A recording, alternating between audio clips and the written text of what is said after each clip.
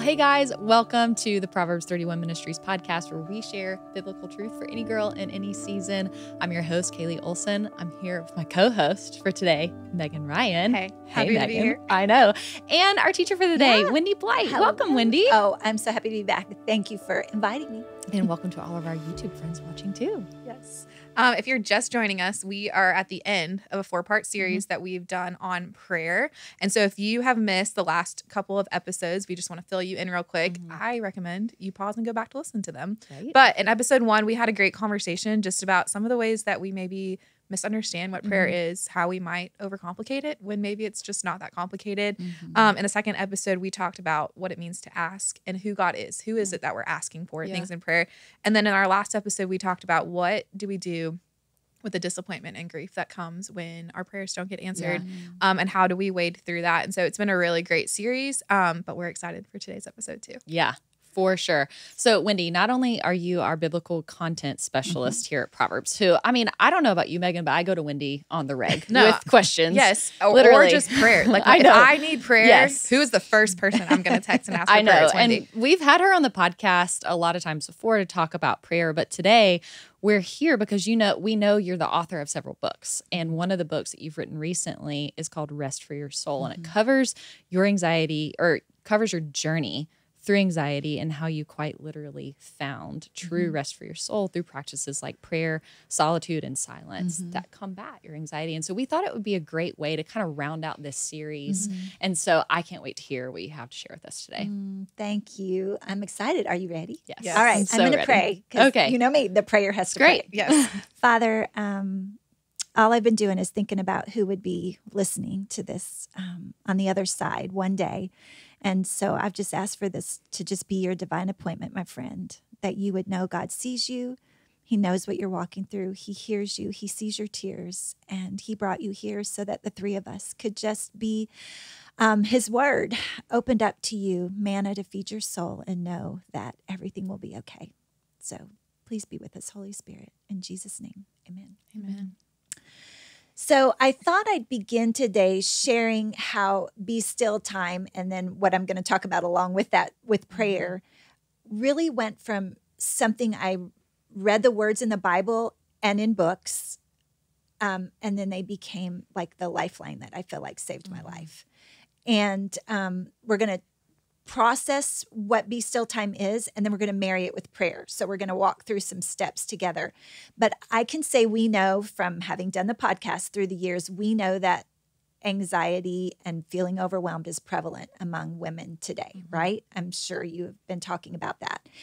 And so i thought i would open by sharing my story just so you can know Mhm. sort of where i'm coming from and how the be still time or what i came to call sacred pauses combined with prayer became medicine really for my soul during that time and just pulled me out of what I, I like to call paralyzing anxiety that hijacked my life because I Yeah. s I, just felt like I went from one space to the next and I don't even know how I got there in the middle.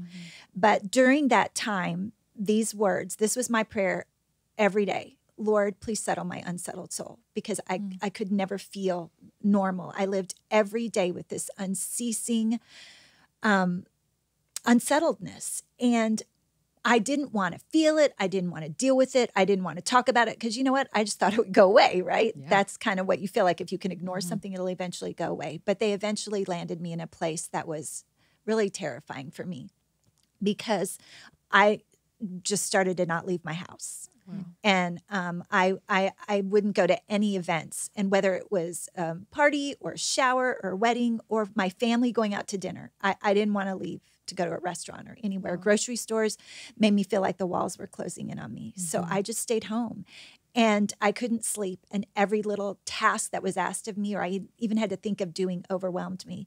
And then physically, I had all these chronic pains in my body everywhere. So then my obsessive thinking was, uh oh, I have this, I have that. What's wrong with me?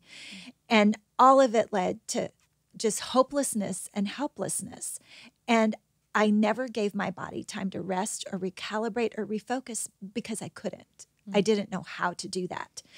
And um, so before we begin, I want to begin with some be still time with us, if that's okay with y'all. Yes, that's great. So, what I'm going to do is first say to our friend, when was the last time you were still? And I'm going to look at both of you too. When was the last time you were still? And when I say that, no outside noise, no chaos around you, no to do list just going round and round in your head of everything you have to do. And I'm probably going to guess, and you've got a child, you Yeah. know, a young child. So, Who is not still? yeah, never still. So, my guess is, though, it's been a while. Mm-hmm. And so, we're going to do it because this is how important it is to me that we just take time to do this. So, I'm going to ask whoever's listening to um, close your eyes if you're able, but if not, you can still do it. We're I'm gonna- gonna Not if you're it. driving. Yes. Okay. Yeah, I'm, Not gonna, if I'm you're gonna do it driving. right now. Sorry. Okay. But if you, I'm going to ask you to take three deep breaths first, and I'm going to ask you to count to four in and seven out with each breath. And when you do it, I want you to think of breathing in the Holy Spirit and breathing out whatever's worrying you. And then I'm going to pause for a second and I'm going to be read three verses from a passage. One, two, three, and then I'm going to give you a pause in between. So, are you ready? Mm-hmm. All right. Take your breath. Start now.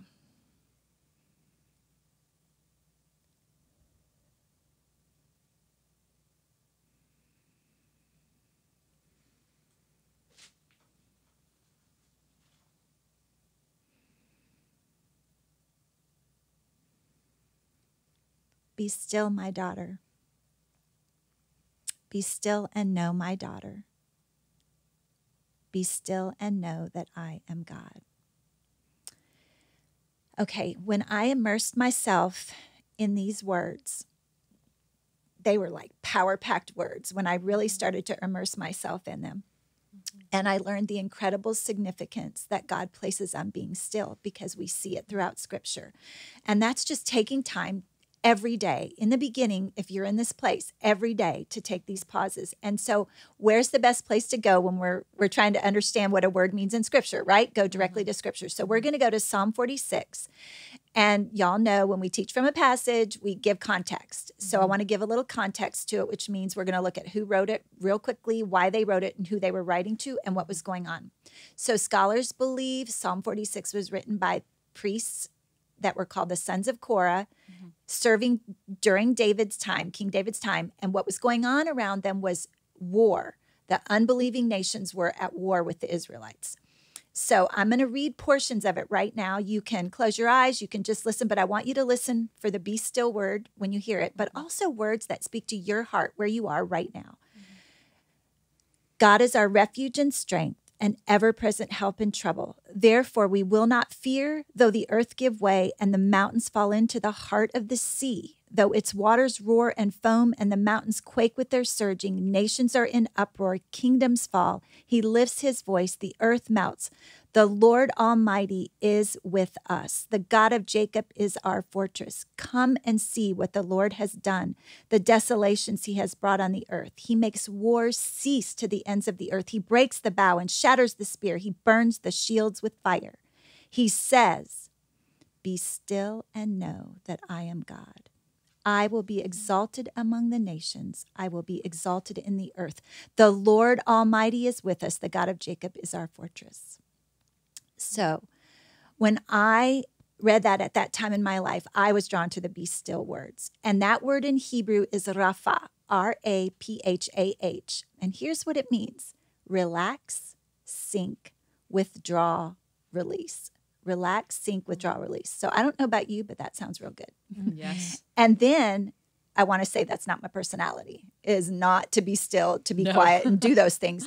So then we notice the next word, it says to be still and know. So um, that word is yada, Y A D A. Well, that word means cease striving, surrender, um, and acknowledge. So it doesn't mean gather information here. Do you see what I'm saying? It's different.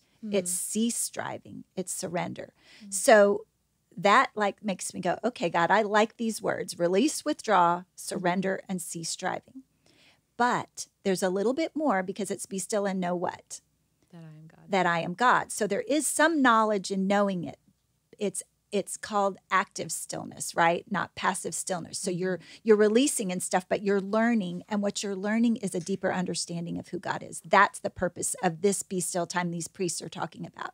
And so um, when we when we remind ourselves of this, we can think back to the priests of Korah and what they were saying and why they were saying it. They were Mm-hmm. saying it to the people at the time that were in the middle of this war and it was terrifying, and their wives were losing husbands and children were losing fathers. And it's because they needed to be reminded of those words that God is their refuge, their strength, their ever present help, their most high God.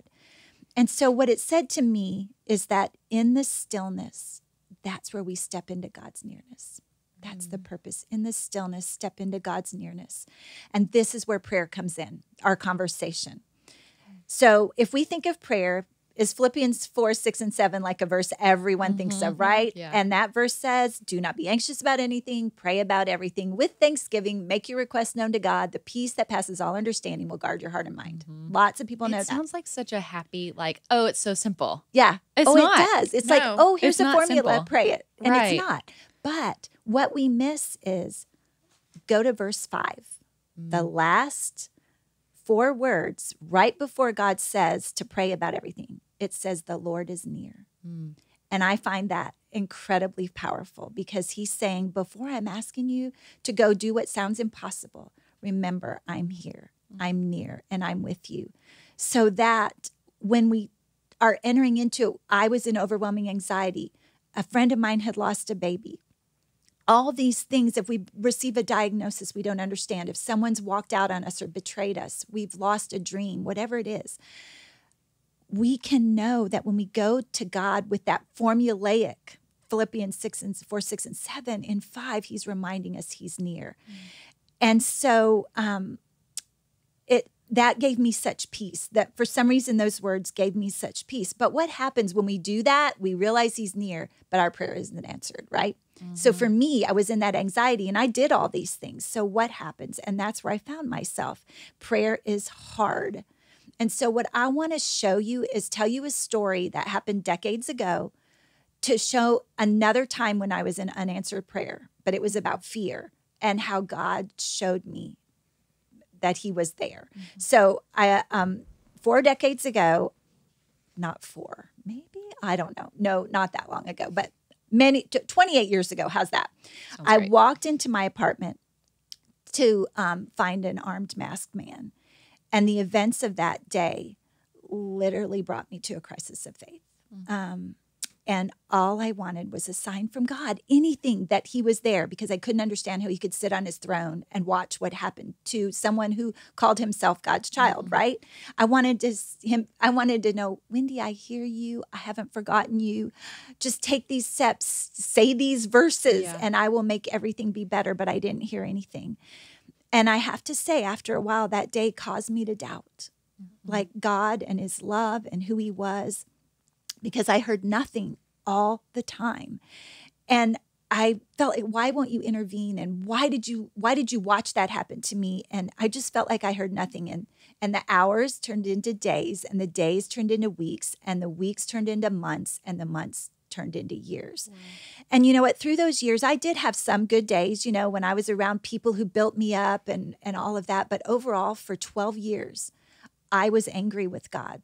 And I doubted him and I really felt like he wasn't the God that I heard all about at Baylor University. You know, that's where I went to school. And but 28 years later, I was speaking at a women's event in Houston, Texas.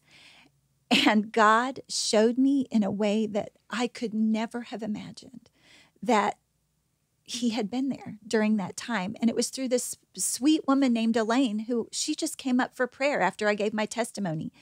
And um, she came up and told me that she was in a small group in a church and their pastor had told them that a young woman had been attacked at Baylor and that he wanted their group, he assigned their group to pray for this woman.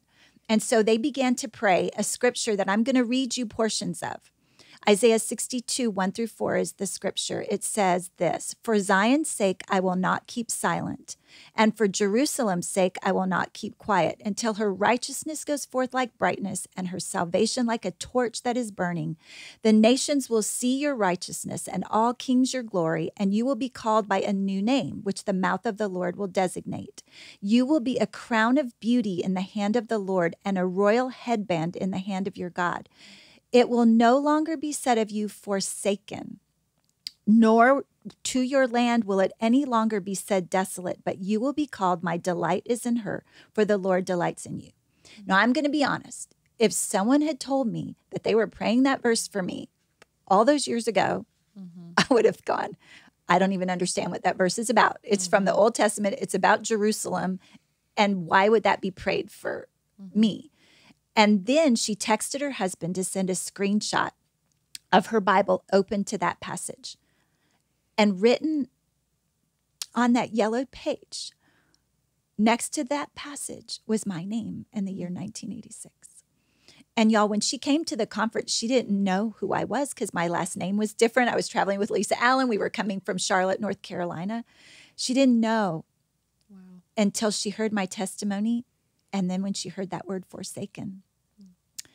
And um, she texted her husband again and she said, Go find my journal from 1986 because she's like this prayer warrior. So she has mm-hmm. journals upon journals and they're all dated. So within about two hours, she brought that screenshot to me, y'all. And this was her personal prayer that she prayed for me every week, once a week. God, for Wendy's sake, I will not keep silent, and for her soul I will not keep quiet until Wendy's righteousness goes forth like brightness, and her salvation is like a torch that is burning. The nations will see Wendy's righteousness, and everyone will see her glory, and Wendy will be called by a new name, the mouth of the Lord will designate. She will be a crown of beauty in the hand of the Lord, and a royal diadem in the hand of God. You will God will it will no longer be said of about or by her that she is forsaken, nor will her soul or her spirit be called desolate, but she will be called, My delight is in her, and God will rejoice over Wendy, and she will be glad. Mm. So she took that Old Testament verse mm-hmm. and just prayed and put my name in it. And I realized not only had God not forgotten me, but He had appointed this group of people to pray for me when I was doubting him and honestly times where I shook my fist and said I hate you and I don't believe in you anymore and that's the truth. That's how I felt about mm-hmm. God. And so I stood amazed then and I stand amazed now that God would like pull back these the veil between me and heaven and show me what was going on. And um that he cared enough, that he just cared enough because he didn't have to show me that. And so I just want our friends to know that um, God is faithful to his word, even mm-hmm. when we we can't see it or feel it. And so maybe like you're wondering if God hears your prayers and you want to change things mm-hmm. and want everything to be over, but you can't and it isn't. So if you're there, which I know you are because, friend, it's a divine appointment why you're here, mm-hmm. hear these words and let them sink in. Jesus is near, and he's as near as your next breath. And you need only be still and call on his name, Jesus. And he invites you, come to me, all you who are weary and burdened, and I will give you rest. And that's what we're talking about today. And he may not fix everything at the moment, and he mm-hmm. probably won't. He doesn't usually, yeah. but it's an invitation to come and be still with the only one who can do it in the middle of our mess, in the middle of our pain, in our doubt, everything, He's the only one. But it's all about accepting that invitation to be still, y'all. It's all about being with Him in prayer. And what does it look like? And that's, we're going to get mm-hmm. practical now. Yeah. So um, I'm going to give you some truths, I'm going to give you some promises, and I'm going to give you some reminders to pray. And there's not one correct way to pray. Here, I'm not, not what I'm saying. I'm saying this worked for me and I've seen it work for other people. And so, praying, I want to remind you of some things. First, remember you're praying to the God who formed you and shaped you, right? Mm-hmm. He is your Abba Father and He calls you by name. He created you in your mother's womb. He knows everything about you. Second, you're praying in the very name of God's Son who saved and redeemed you. You aren't simply reciting the name Jesus, you're praying in accordance with what that name carries and the power that accompanies that name. And third, you pray in faith. And what does that mean? Romans 10 17 says, faith comes from hearing the message, and the message is heard through the word about Christ. So, what is that saying? The verse is clear. The more time you spend in the Bible, that's the word about Christ. The more time you spend in God's word, the more your faith will increase.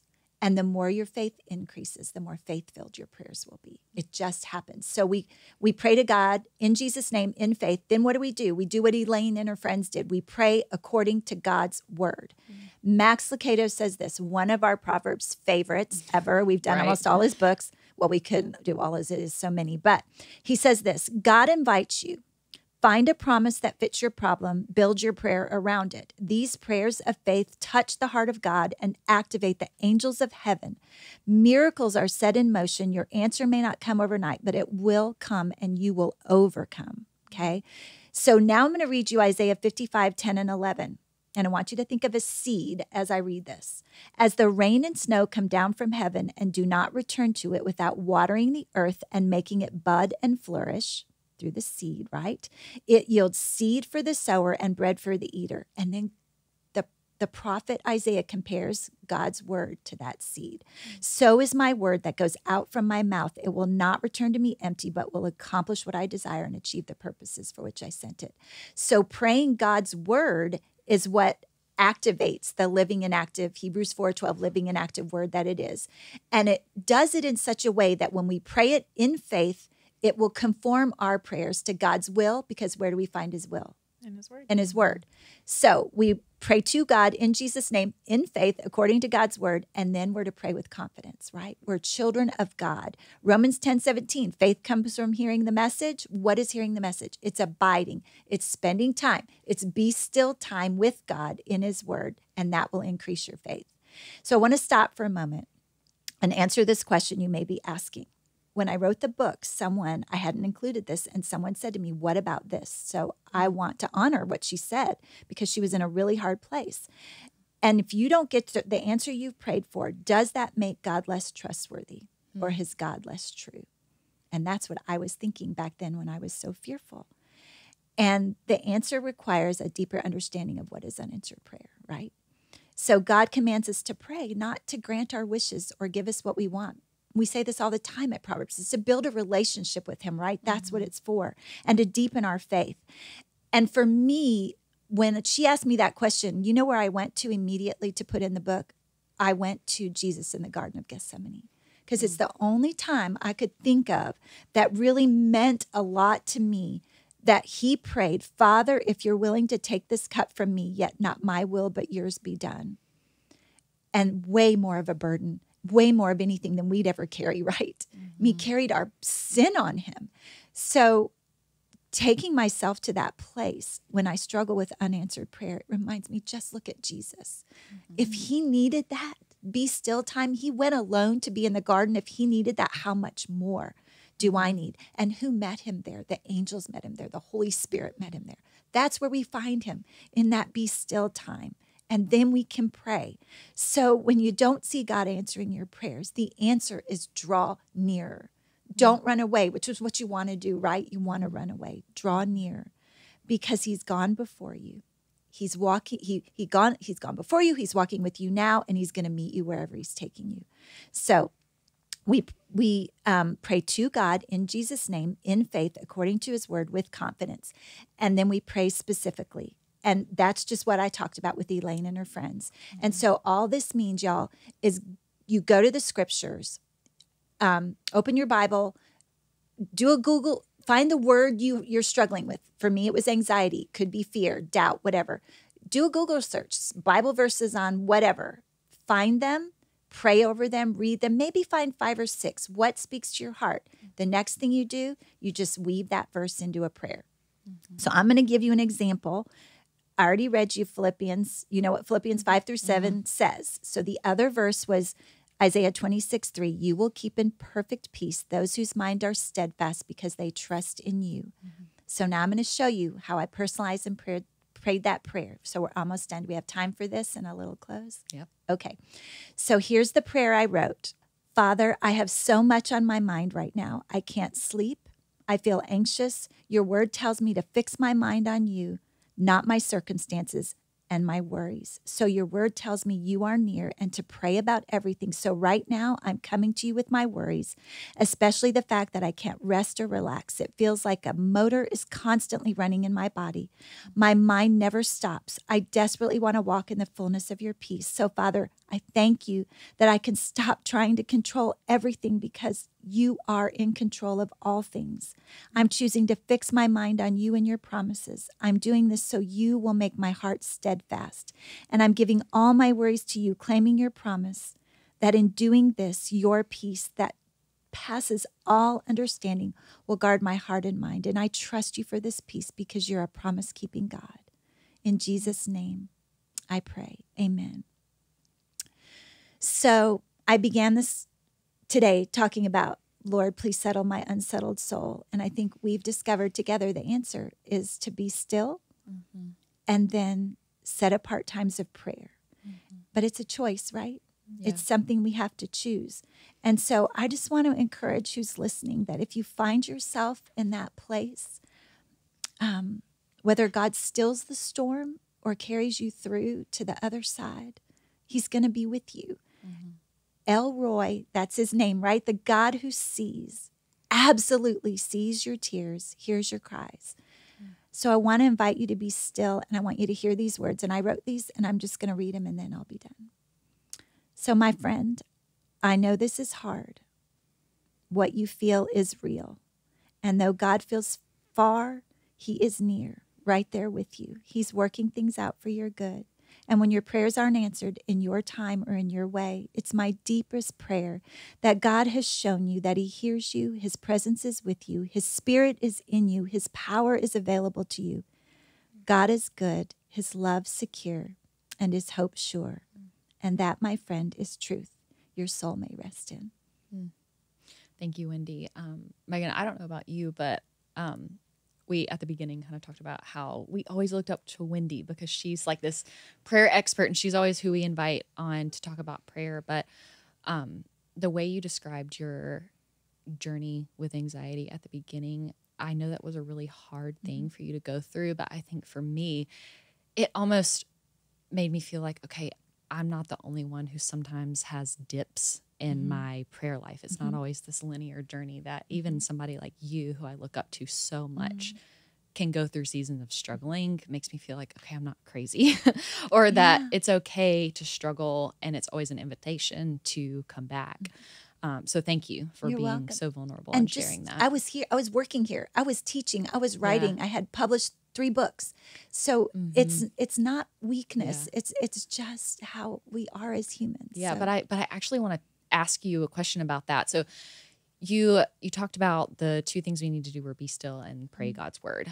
But I know for me, whenever I'm in the middle of like really anxious and mm-hmm. unsettled mm-hmm. um, seasons, I really tend to isolate. And mm-hmm. so I think there's definitely for sure power in like being still and then praying God's word. But what what about reaching out to people because i mean you mm-hmm. and i were just talking about this yesterday yeah. and kind of you know like the the feelings that we're having right now and what we need prayer for but it took a lot for both of us to kind of just be like i need prayer for this like, and this okay? is going on Are you okay yeah because i think whenever we're anxious mm-hmm. we can get in our head yes and being isolated and being still is a good thing but sometimes it's not mm-hmm. always a great thing. So in your experience with that that season that you were in where you were scared to leave your house and you mm-hmm. were mm-hmm. afraid at all times mm-hmm. and it had really just caused you to be super unsettled. When did you finally reach out or did you finally reach out to mm-hmm. somebody? I did. So um first of all, I have my husband who was wonderful and mm-hmm. walked me through. Then my internist, when I went to her, told me to see a counselor. So my okay. church has counseling. So I started to go to a counselor. And then I had a friend, Leah DePascal. I know she won't mm-hmm. mind. Um, I talked to her. So I had three people in my life okay. that I was talking to. But the be still time was um, something that it is hard mm-hmm. it, and i wish we had more time to talk because that's when your voice speaks to you the most and yeah. so in the book there are ways that really help you train your mind mm-hmm. in those be still times to not wander back to where yeah. you're used to going because it that's such a good point and but having people in your life that love you whether it's mm-hmm. family siblings a boyfriend husband counselor friends whatever it's really important to mm-hmm. have even if it's just one or two. Because if you totally I- isolate yourself with no help from anyone, yes, God is God can do anything, but we also know He gave us community. Mm-hmm. Yeah. in those be still times I mean, maybe it's just because i like i like a formula but there's Uh-huh. not always a formula like is there a difference between be still time and like the time i spend reading my bible in Yes. the That's a morning great question. Absolutely. So there's this difference in the book I talk about between solitude and silence. okay Solitude is being still, but you can be out riding your bike. You're still not with people. You might be around people. And those are things like, you know, um, I think more of Bible studies. So Bible study, um, riding your bike, sit, just taking a walk in the park, all those things that will calm your soul. That's solitude, and they're so helpful. And I give you lots of ideas and ways to do that. Um, memorizing scripture can be something that you do in solitude, right? That's hiding that word. But but but silence, you there should be no people around you. You need to be all by yourself in your room so you can literally like that's when God speaks. And I wish I had time to just tell you examples of in that stillness. You're one of the stories that that that that call I made to you from my car at the grocery store. Mm-hmm. That call was out of it. Be still. Was that when I had just found out that I was mm-hmm. pregnant? Okay. Uh, well, I have to share the story. Okay. So I had a miscarriage in 2020 and that was a really hard season. I knew you were praying for me, but um, I had gotten pregnant again almost like a year to the day later and I was terrified because when you find out you're pregnant for the first time, you're really mm-hmm. happy. Mm-hmm. When you lose a baby and you find out again, I remember looking at the test and just going, here we go. Like, and just being on pins and needles, but mm-hmm. being so early that I didn't want to tell anybody. And I had told my husband, and that was pretty much it. And out of the blue, I get a call from Wendy Blight, who just said, I feel like I need to call you and talk to you. So I'm thankful that I didn't have to wait as long as you did to have somebody come up to me and tell me that they've been praying for me. But yeah, there's mm-hmm. there's true evidence that mm-hmm. God works through those moments. Well, here's the people in thing. your heart. the first time, the very first Mm-hmm. time that he put you on my heart was when I called you. Uh, I either called or texted you a prayer, and it Mm-hmm. was the anniversary of your miscarriage, and I didn't know that. Do you remember that? That's in the book. Oh, yeah, it's in the book. So from that moment, the Lord just knit my heart Yeah. with yours. So that's Yeah. why that day in the parking lot at Harris Teeter, Mhm. and and I, that my conversation was telling you you are that baby's going to be born. And that was a boldness that would have never come but Mm. for that first time. And that's when you said i haven't told anybody but i am. But do you know what it's like to tell a person who had a miscarriage you're going to have a baby? I was shaking when i told you that. So i mean that's that's what he can do. So it isn't always like it it's just he just making yourself available is for other people too. Mm-hmm. Yeah. And I think just recognizing like it is a fight for that still time. It's not gonna come no easy. so hard um, it's kind of like a muscle you have to train. Yeah. Of like I have to. I mean, like for me, it's like phone's got to go in the other room. Yep. Like nothing's got to be around, and like some days I don't want to sit in it because like the voices in Mhm. my head are Yeah. loudest the 1st Mhm. Um, but I do think I'm encouraged and challenged today that like I need to go make some be still time.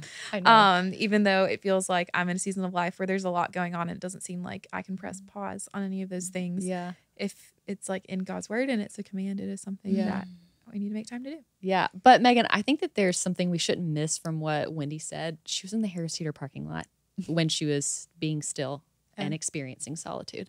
Yeah. You know, like, I mean, I don't have to go home every single time to be Right. still. Like, if I can find 10 minutes in my car and he can do what he did Yeah. in the Harris Teeter parking Mhm. lot, like, who am I to think that he can't do that in the parking lot here or whenever I get a moment Yeah. to myself, even if I stay in the bathroom for a little longer Yeah. than I Yeah. should? So it's but it's it great. but it is important that when you're in the depths of it Mhm. when you're in the depths of the anxiety or the fear it is important to make it daily every day by yourself somewhere Yeah. but then when you develop that then you can go have it anywhere like you're talking about Yeah. because you love it you long for it Mm. i long for it now you know Mhm. Um, my pastor in college said discipline leads to desire, and I take that into That's every area really of good. life. That's of really good. the more I discipline myself to spend time in God's word, the more I want it. The more I discipline myself to be still, the more I want it. The more I discipline myself to go to the gym, the more I want to go. So I think that's just something I am reminded of. Yeah, for sure. Well, um, Megan, I love this series so Yeah, much. It, It this was was, fun. I feel like uh, we talked about at the beginning. What a great way to wrap up this Mm-hmm. series with one of our favorite people who we go to for prayer and to learn from you. about prayer. Um, so if you are just tuning in on YouTube or the podcast, please go back and watch or listen to all of the episodes that we have lined up for you. But Megan, you're going to share about some resources. Yeah. Well, first, I don't want y'all to miss. Wendy has a brand new book out called Rest for Your Soul. Yes. A Bible study on silence, solitude, and prayer. And we cannot recommend it Mhm. enough. Um, it is practical. It has so much goodness in it. It's going to be one of those books that you want to just carry from season to season and use as a resource. And so, Wendy, I want to thank you for. I know that that costs you a lot to put Yeah. time into that, and so For thank sure. you for doing that for us. Um, and we've mentioned it on the other episodes, but I want to mention it one more time. We do have a brand new study guide with first five called "Praying Through the Psalms: Thirty pretty. Days know, to it's so Uncomplicate." how you talked about. I said that on the other episodes too. It's just very pretty.